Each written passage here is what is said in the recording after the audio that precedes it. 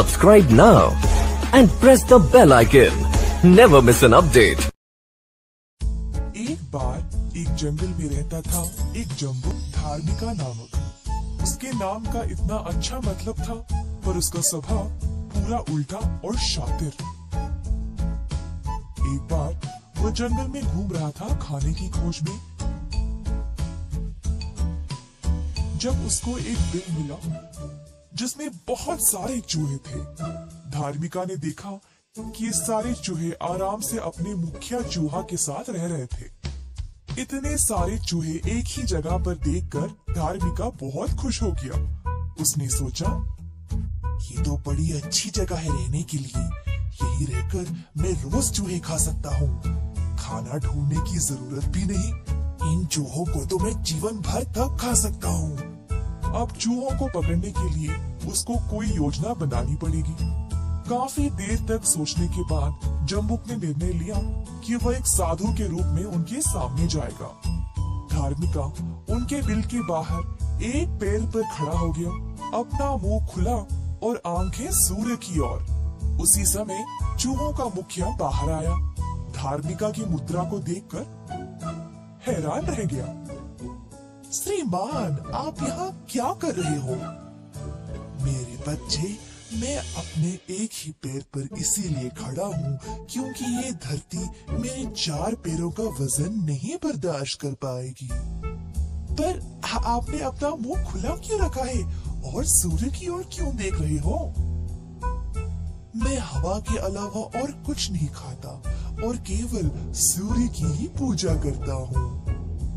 जम्बू की बातों पर विश्वास करके मुखिया गया बाकी के चूहों को ये बात बताने के लिए। दोस्तों, हम बहुत भाग्यशाली हैं। हमारे बिल के बाहर जो जम्बू खड़ा है, वो एक साधु है। चलो, हम सब उसका आशीर्वाद लेते हैं। अतः, सारे चूहे बाहर आ गए धार्मिका का आशीर्वाद लेने। दिन भर यही चलता रहा। और फिर शाम को सारे चूहे अपने बिल में वापस चले गए। जब आखिरी चूहा वापस जा रहा था, तब धार्मिका ने झट से उसको पकड़ा और खा लिया। रोज यही चलता रहा और जब भी मौका मिले, धार्मिका एक एक करके चूहों को खाता गया पहले पहले चूहों ने ध्यान नहीं दिया, पर दिन पे दिन उनकी आबादी कम होती गई। ये बिल में पहले बहुत भीड़ हुआ करती थी, पर अभी खाली खाली लग रहा है ना? कुछ तो गड़बड़ है। मुखिया को अब जम्मू पे शक होने लगा। उसने सच पता लगाने का निर्णय लिया।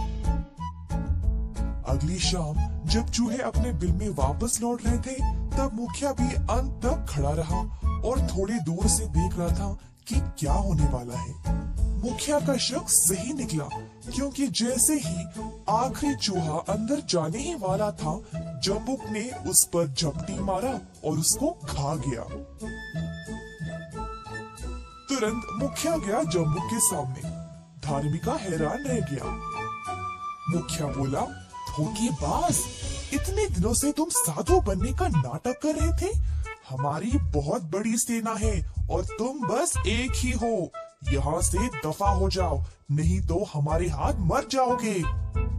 धार्मिका डर गया और तुरंत वहाँ से भाग निकला। धोखेबाज लोग कभी ना कभी पकड़े ही जाते हैं।